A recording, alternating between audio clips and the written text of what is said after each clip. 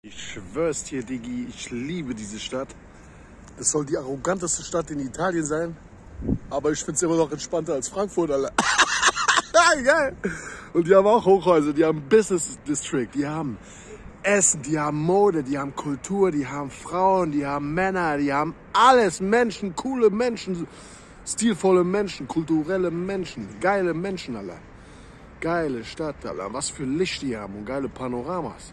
Für jeden Hobbyfotograf das, das absolute Traumziel. Ja? Geil, Digi, geil. IBM.